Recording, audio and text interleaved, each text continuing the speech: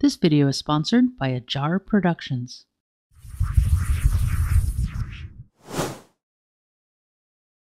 I'm going to show you the coolest thing in PowerPoint and it's only going to take three minutes. But what is it? It must be the magical morph transition, surely. Not a chance. Ah, then the wonders of Designer to bring your content to life effortlessly. Ha! No way! Zoom. It must be something cool with Zoom. Nope.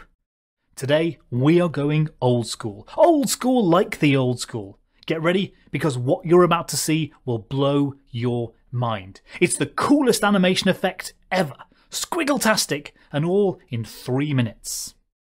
So let's take a look at how that works. To start with, I'm going to draw a circle, then go to the Animations tab on the ribbon and choose Add Animation on the right hand side. Scroll down and find the motion paths where you can then choose a custom path to create any shape you like. And then when you play it, it goes through, but it's a bit angular, not what you want. Well, with any motion path in PowerPoint, you can right click on it and choose Edit Points from the pop-up menu and each of these little black dots here then gives you the ability to control the Bezier vector curve. It's not really very smooth though, is it? So you can right click more and choose smooth point, which now gives you the lovely smooth curves that you're after. To be honest, it's a little bit fiddly to do that in PowerPoint, so although you can, if you prefer to create your own custom path in something like Illustrator, you absolutely can do and then import it so you've got something nice like that. The problem is you've now got to try and map that in PowerPoint, which is awkward.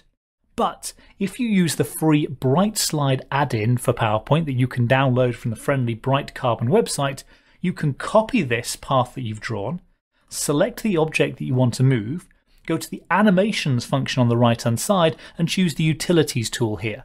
Under Motion Paths, you can choose to paste that shape as a motion path and that will now map perfectly for you, which is terrific. And now when you play it, it's all sorts of smooth, which is lovely, but it's still not the effect that we want. What I'm then going to do is to copy this object loads. So I've got 20, 30, maybe even 40 of them or so on the slide.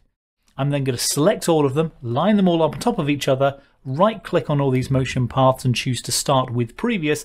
And now when you play them, they all move at the same time.